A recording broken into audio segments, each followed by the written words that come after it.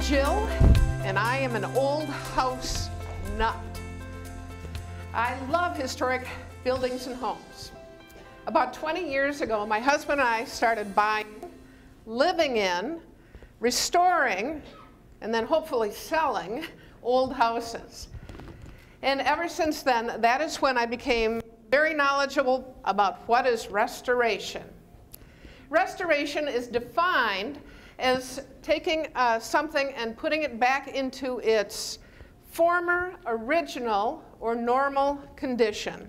Taking something and putting it in its former, original, or normal condition to restore. It is through my love of historic homes and restoration that I also became familiar with the writings of Jane Jacobs. I call her the godmother of urban renewal.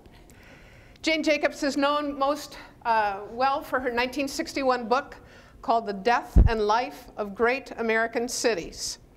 In this book, she writes about how the best buildings are those that can adapt to new uses over time, those that can change and morph. Well, today I'm going to introduce another concept to you, the concept of re-story-ation. It's a lot different than 1961 when Jane wrote her book. So let me tell you, what is re-story-ation? Re-story-ation is a phrase I first heard from a guy named Nick Nissley when I took a class at St. Thomas. And he said, re-story-ation is the process by which we make sense of our life stories. Re-story-ation is when we tell, retell, deconstruct, construct, and envision our life stories. The act of re-story-ation allows us to honor who we have been, who we are today, and who we want to become. I'm taking you now on a journey of re-story-ation. So first of all, a personal vignette. I live in a community near here and in 1996, I used, to, I used to work in a community 30 miles from my house. And as I would get up in the morning, get in my car, I would look around and I would say, gosh, it'd be nice to live here. That's because I felt so disconnected. My life was so connected elsewhere.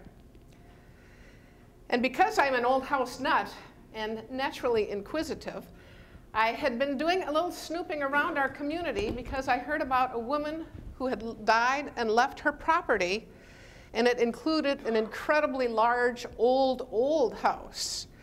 And so I snuck on the property with my husband and our old house club, and this was the most dilapidated house I had ever seen. And in fact, it was worse than the house that we lived in, which had been condemned before we bought it. So naturally, I just fell in love. I saw this house with this hanging, swinging staircase with a one foot drop from one corner diagonally to the other, and I felt called. I said, I need to do something to help this house and this 50 acres of land on the St. Croix River. But I didn't know what to do, so I got in my car and drove to work back and forth. And then one day, November 1st, 1996, I did something quite unusual. It was a Friday, I took the day off. I didn't go to work. Instead, I met with a friend of mine who had started her own nonprofit. And I said, you know, this house is languishing. This incredibly generous woman died. She left this house, these 50 acres of land. She wanted it used for public good. There's no money. She made a little mistake or a little glitch there. and what can I do? So when I was meeting with my friend, something very unusual happened. My phone rang. I answered the phone, and it was my boss. She said, Jill, you've been laid off along with 300 other people. I took it as a sign.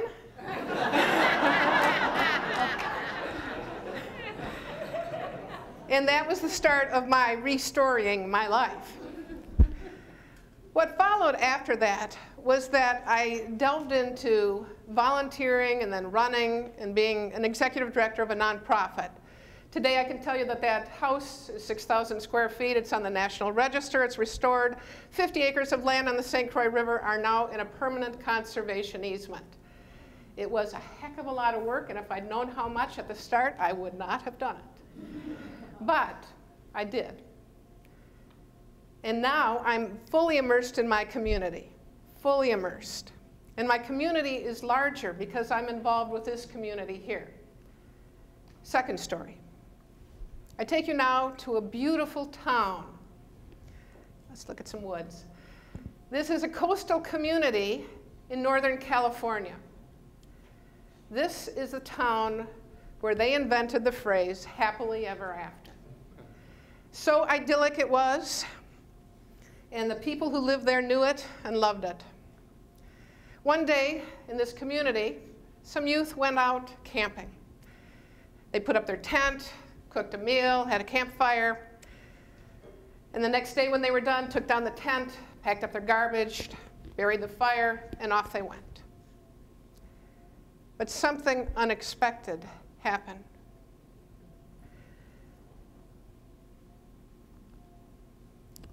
The wind whipped up. A fire of unimaginable, cat catastrophic character took place. 12,000 acres of wilderness burned, and nearly 50 homes were destroyed.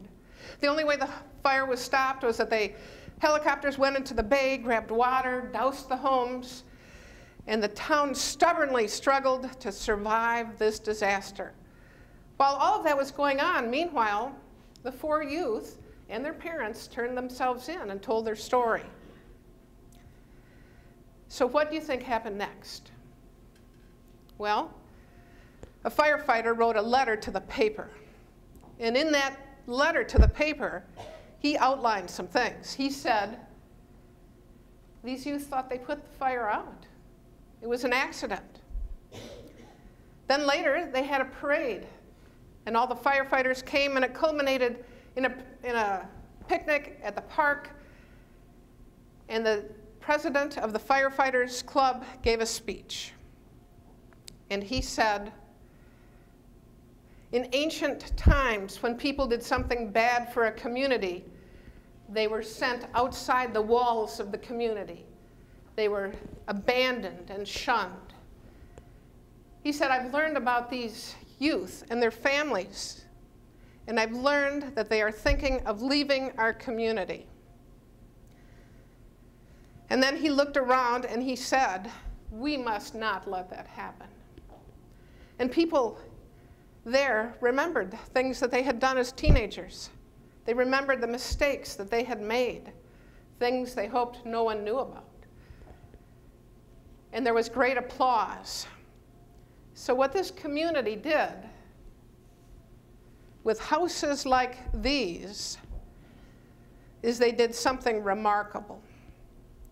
They had a remarkable generosity of spirit, and they forgave the youth. They told them they must not leave the community, that they were wanted that they had, even though they had committed this egregious error, that they destroyed everything, that they were valued members of their community. They restored that community. Think what would have happened if those four youth and their families had left.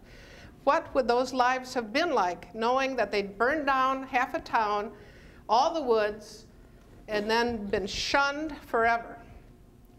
I don't know what is happening with those youth today, but I do know, I wonder if they don't still live there.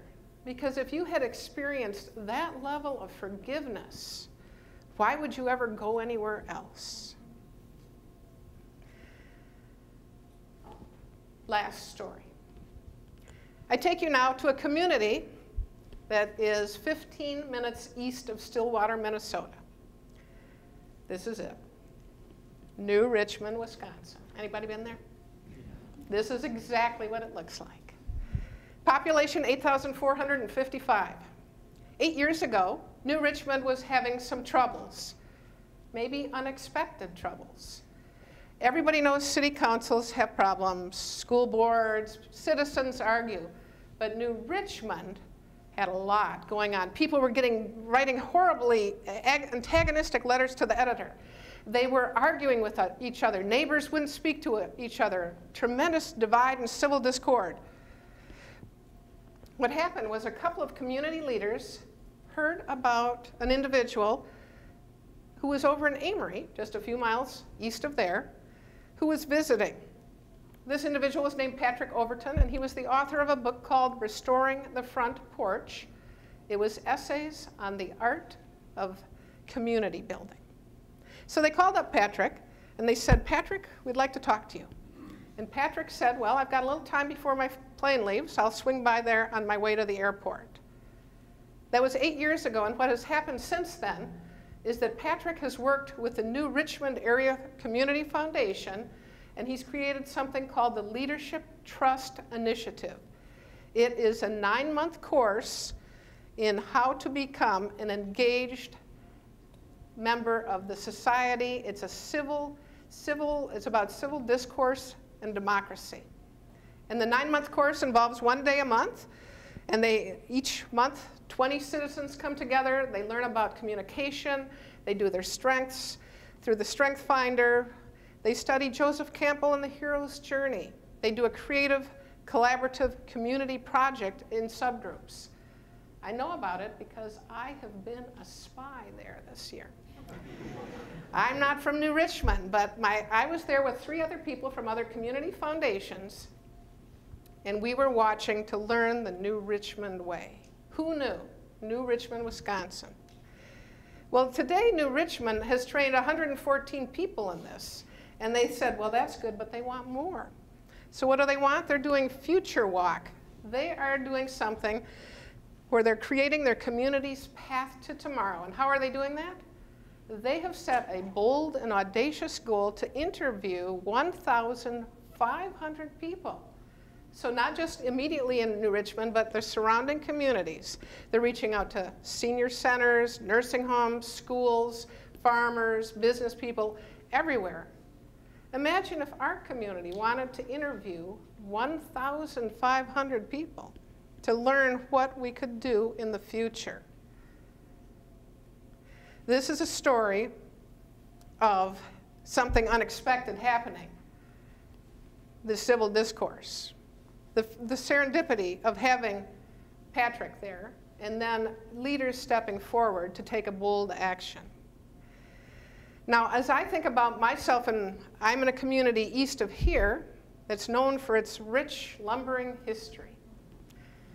And I think about that and I think, well, what are we known for besides our rich lumbering history? And what could we be known for? So we could be known for people coming together and for our rich generosity. So I'm part of a group on the Stillwater Area Foundation, and we're looking at teaching youth about philanthropy, about how to have seed money for great ideas, and how to take the new Richmond model and Stillwaterize it. and I don't know what will happen in the future. But I would ask you today, as you think about what's next for your community. We can't go back to restoring things to their former original and normal state. We've been hearing all day about how things are different. Jane Jacobs says the best things are those that can be adapted over time. So, what can we do to adapt and change? What can we do with all of the help of everyone around us, the people who are here today, who are coming tomorrow. One of the things I like about the New Richmond project is that it is about the art of community building. And I always, I have a friend who's a poet, and she said whenever anything really important, art shows up. This is a sculpture by my friend Kate Christopher, and it, to me, emphasizes someone leaning forward and looking and wondering what comes next. You've got people who all look alike, but there's somebody who's leaning out there, who's wondering. What I'd like to leave you with today, as we've looked at what are the issues in our community, I'd like to ask you what's your story going to be? How are you going to recreate, tell, retell, reconstruct, deconstruct, envision your life? What can you do in your community? What do you want to be known for? All it takes is an act of incredible generosity, perhaps, generosity of spirit, generosity of philanthropy, It takes leadership to step forward, and it takes people to say, what next? Thank you.